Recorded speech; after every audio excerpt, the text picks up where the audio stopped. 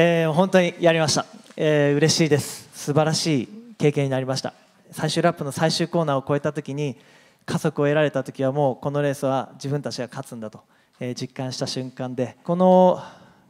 喜びをですね本当にたくさんの方に知っていただきたいです。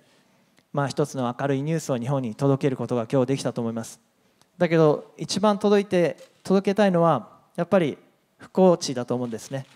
東北のまあ震災が起きて2011年以降、まあ、僕自身、えー、特に復興地の、えー、子どもたちを支援する WithYouJapan というプログラムをずっとやってきましたがやっぱりあの子たちはどうしてもそうですねこれから一生かけても、えー、治りきらない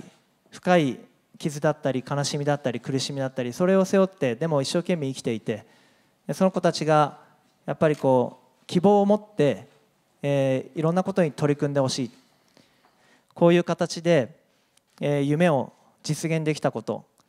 信じ続けて夢は叶うんだということを今年、